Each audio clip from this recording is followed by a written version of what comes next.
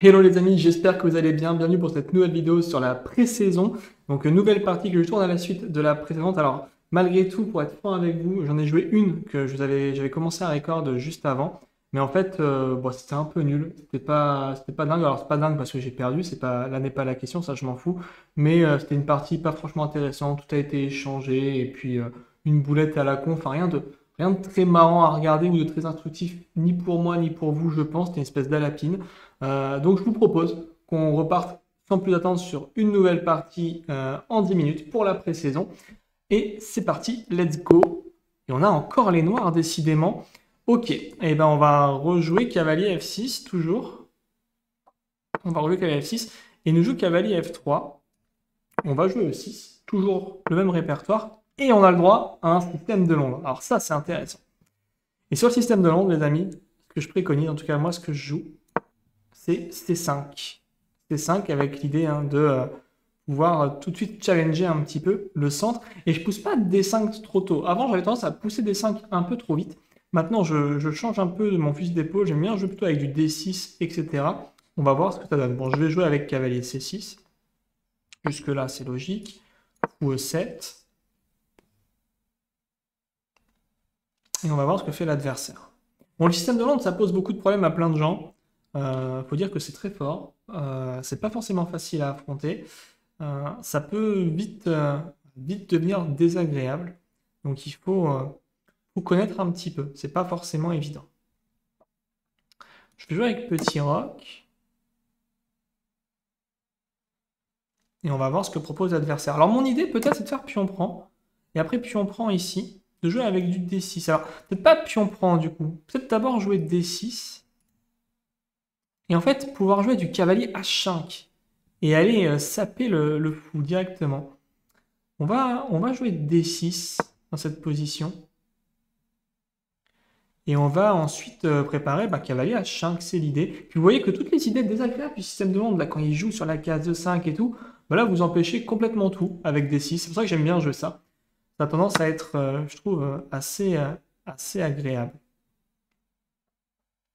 Alors on peut reprendre sans problème et de toute façon on pourra quand même contester le fou.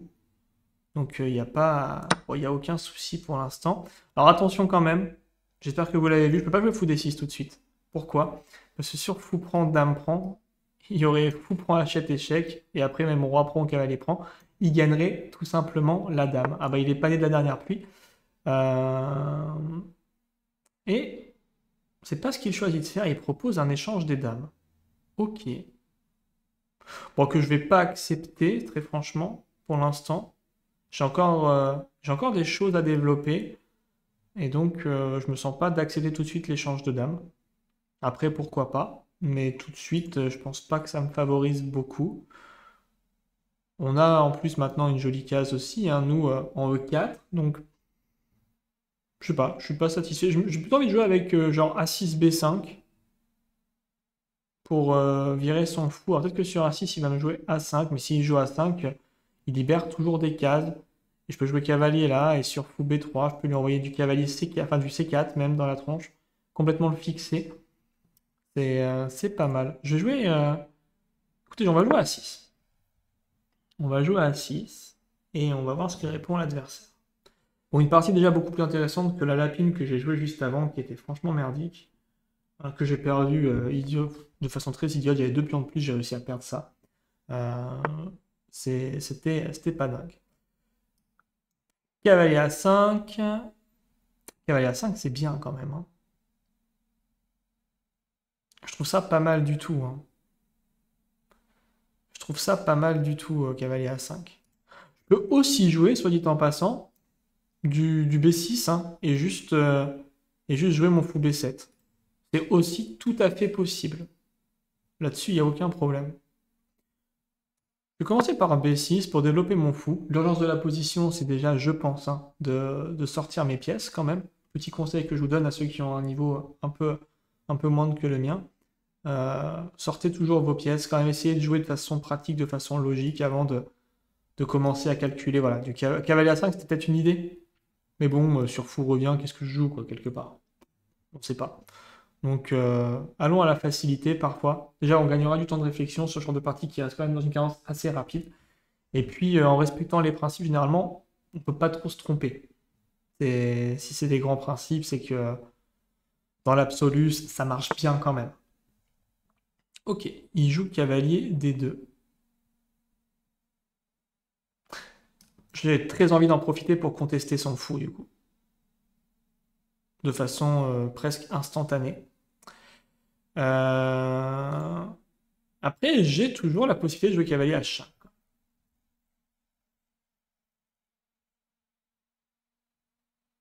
J'ai toujours cette possibilité et je crois bien qu'on va sauter dessus. On va aller sur cavalier H5, c'était mon idée. Et ça me semble très agréable. Ce fou est vraiment fort. On va le supprimer.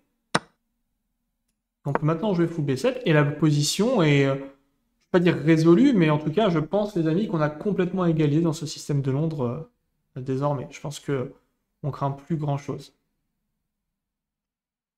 L'adversaire voudrait chatter, tiens, je vais vous dire ce qu'il dit, ça, sera, ça pourrait être marrant. Hey, how much hello do you have in real life? Oh bah, on lui répondra un petit peu après. On lui répondra un peu après. Il sera vite déçu. il sera vite déçu. Bon, il tape sur mes cases blanches quand même. J'ai envie de jouer G6, ça fait d'une pierre deux coups. Ça permet, pourquoi pas, de jouer du fou F6, fou G7, de consolider mes cases blanches. Je pense que c'est pas mal. Euh, je vais lui répondre. Vous savez quoi? Je lui réponds en vidéo. C'est beau. Je vais dire Hey euh, Je dire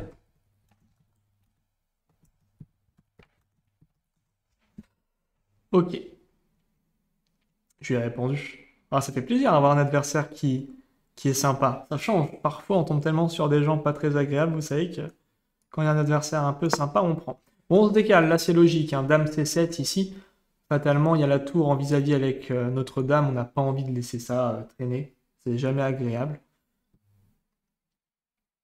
Donc, euh, ça permet de jouer quelque chose de, de, facile, là, encore une fois je pense. En tout cas, j'espère que, encore et toujours, j'espère que cette, euh, que ce, type de vidéo vous plaît. Hein. Euh, moi, je vous tourne des vidéos à la suite, donc j'ai pas encore eu de retour sur euh, le premier épisode de la pré-saison. Mais je trouve ça sympa, puis ça me permet de reprendre des vidéos avec vous petit à petit de façon régulière aussi, une vidéo par jour. évidemment, je fais état des aussi du dernier tournoi que j'ai joué, même si, chicanement parlant, il est vraiment pas très très intéressant. En fait, j'étais en un tel état de santé que c'est pas forcément facile. Pour moi, j'aurais pas dû jouer ce tournoi, je le regrette un petit peu. Euh, mais bon, euh, écoutez, euh, je vous ferai quand même, je pense, un petit, un petit des lieux. On va jouer, on va jouer fou F6. On va replacer notre pièce qui est, qui est ma foi assez, assez, assez cool ici en F6 avec la possibilité de revenir en G7. Hmm. Alors il veut peut-être maintenant... Euh, il veut des choses quand même. Hein. Ce cavalier va être désagréable. Il l'est déjà et il va l'être davantage. On va jouer fou G7. Alors il va peut-être pouvoir venir ici. Ça c'est chiant. Ça c'est pas marrant. Mais bon. On a des, moyens aussi de, mettre la pression dessus. Euh, de façon quasi instantanée. Je sais pas s'il va se risquer à jouer du cavalier, du cavalier D6. Après, de mon côté, j'ai aussi, pour toujours supprimer un peu la pression, je vais avoir des idées avec euh, du cavalier E5. Et d'ailleurs, s'il ne bouge pas le cavalier, je vais peut-être même avoir des idées avec euh, du, cavalier, euh, du cavalier A4 qui peuvent être intéressantes. Parce que quelque part, on va aussi libérer l'action du fou. On a quand même la paire de fous dans cette position qui est, intéressante. Nos deux fous, vous voyez, ils rayonnent sur l'échiquier. Et euh, c'est vraiment intéressant. Donc on va voir un peu ce que ça donne. Mais pour l'instant, une jolie partie euh, d'un système de Londres assez, assez stratégique. Euh, c'est pas mal. Ok, donc il choisit de le faire quand même. Il choisit de le faire. Bon. Qu'est-ce qu'on peut, qu'est-ce qu'on peut imaginer pour, pour l'embêter? Qu'est-ce qu'on peut imaginer pour l'embêter un petit peu? J'aime toujours bien cette idée de, cavalier, euh, cavalier E5 qui serait intéressante. S'il échange, je peux faire fou prend. Et on commence à mettre la pression sur le cavalier. On va sûrement forcer euh, cavalier prend ici. Je pourrais faire dame prend et tout va bien. Je sais pas trop. J'ai aussi du cavalier à 5 hein, que je garde en tête quand même depuis tout à l'heure. Mais cavalier à 5, je me dis que peut-être juste il va jouer euh, quelque chose comme fou d3. Euh, ou même d'ailleurs juste se retirer avec fou b3. Et finalement, euh, je trouve pas ça si, intéressant. Je trouve pas ça si intéressant que ça. Après, peut-être que le cavalier a aussi une case en D5 qui peut être intéressante. Oui, il y a plein de choses hein, finalement qui sont, qui sont, pas mal. À nous de, de voir quel choix on, on veut, on veut faire. Je sais pas trop. Je ne sais pas trop. Mon cavalier, je me dis quand bah, il n'a pas beaucoup d'avenir quand même par ici. Donc euh, j'ai tendance à jouer du cavalier E7 pour du cavalier D5 à titre personnel. Et puis on tape là-dessus, euh, on tape, on va continuer à taper un petit peu. Je sais pas. Peut-être euh, Peut-être tour D8 aussi. Beaucoup de choix possibles dans cette position. Je prends un petit moment pour réfléchir quand même. Je suis pas trop trop mal au temps. Même si tout vous expliquer, forcément, ça me... Je prends du temps euh, aussi pour ça. Je joue de façon moins instinctive. Euh, mais c'est aussi l'idée de, de cette série de vidéos.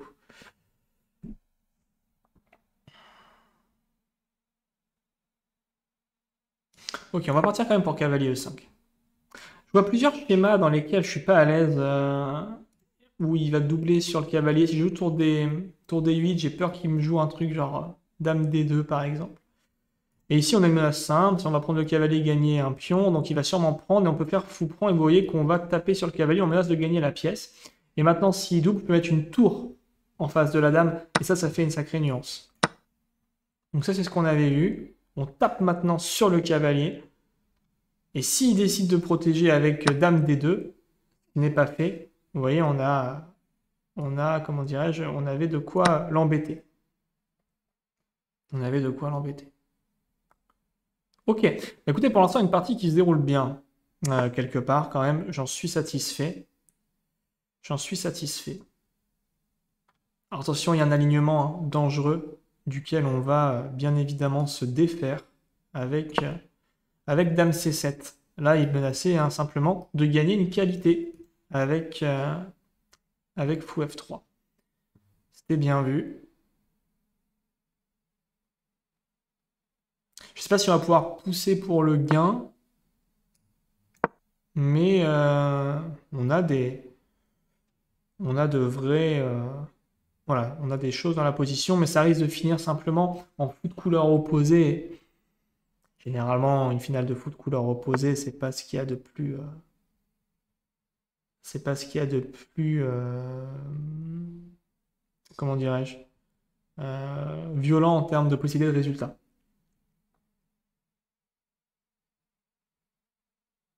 Bon, malheureusement, je vais devoir mettre sur case noire. J'ai pas de moyen de protéger ça efficacement.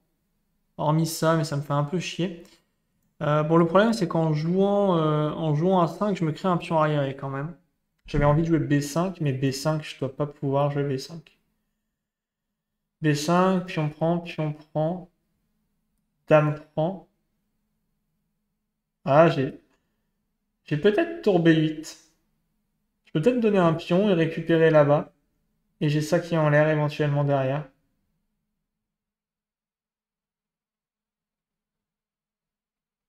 Ah non, on ne peut pas récupérer parce qu'il pourra toujours jouer Dame 2. Ok. Ok, ok.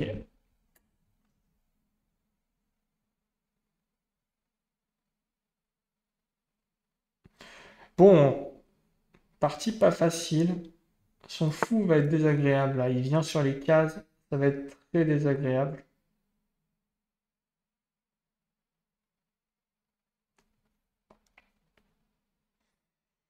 Hmm. On va revenir avec le fou en G7.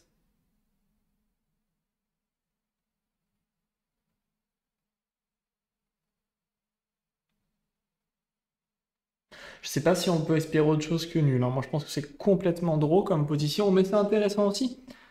C'est intéressant aussi. On a joué déjà contre un système qui est, euh, est réputé comme étant quand même désagréable. Le système de Londres, euh, on en voit beaucoup. Donc bon. On va lui demander d'ailleurs, tiens, quel il a dans la vraie vie. Agnew Ok.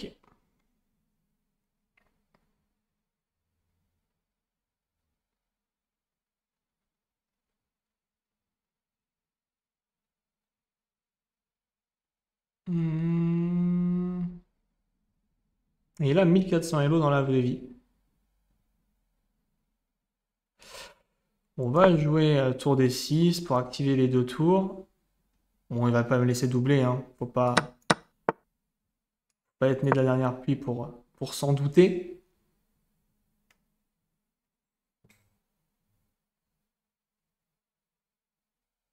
Il joue vachement bien. Tant que euh, elo comme celui-ci, euh, 1400 elo feed pour un joueur comme ça, fait pas d'erreur ou quoi? Moi, quand je vois 1400 feed par exemple dans mon club, ça me semble un peu plus faible. Les 1400 ont généralement euh, plutôt euh, des elo tournant aux alentours sur Chesscom de 1500, 1600. 2000 elo, c'est beau. C'est beau, c'est beau. Euh, On va commencer à, venir avec le roi. hein. Il n'y a pas le choix. Il n'y a pas le choix, il n'y a pas le choix. Bon, on craint rien ici, de toute façon. On craint absolument rien.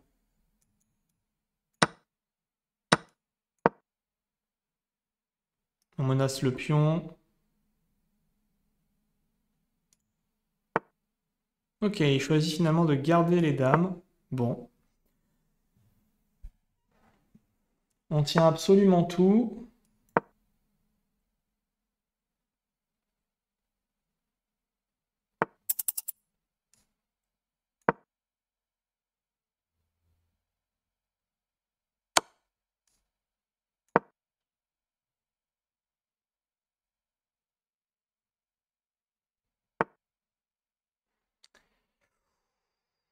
J'ai pas vu ça. Ouh là là là là là là là là. J'ai pas vu ça du tout. Oh l'idiot, fallait que j'aille en bas. Mince! Ah bah vous voyez, je me suis fait avoir. Je me suis fait avoir en beauté et je vais la perdre. J'ai aucune chance de gagner.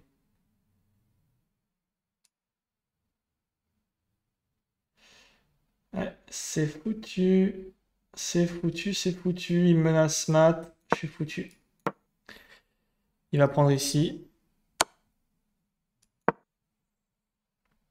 Je ne pourrai plus gagner. Ah, je me suis fait avoir. J'ai oublié la dame qui entre. J'ai trop parlé. J'ai trop trop parlé. C'est bien fait pour moi. C'est dommage parce que la position était complètement égale, mais écoutez, euh, c'est le jeu, hein. C'est le jeu, c'est le jeu. Malheureusement. Malheureusement, ouais, voilà, j'ai plus aucun espoir. Je peux abandonner de toute façon. On va pouvoir abandonner avec 12 secondes. J'ai perdu trop de temps. Ah, quoique. De foot couleur opposée, ça aurait peut-être pu se tenir. Ouais, non, j'ai tout sur case blanche quand même. Non, j'ai tout sur case blanche. Il n'y a aucun espoir. Il n'y a aucun monde, absolument aucun monde où je m'en sors. Non, non, non. On se sera vaillamment battu pendant cette partie, c'est pas grave. C'est pas grave, c'est pas grave.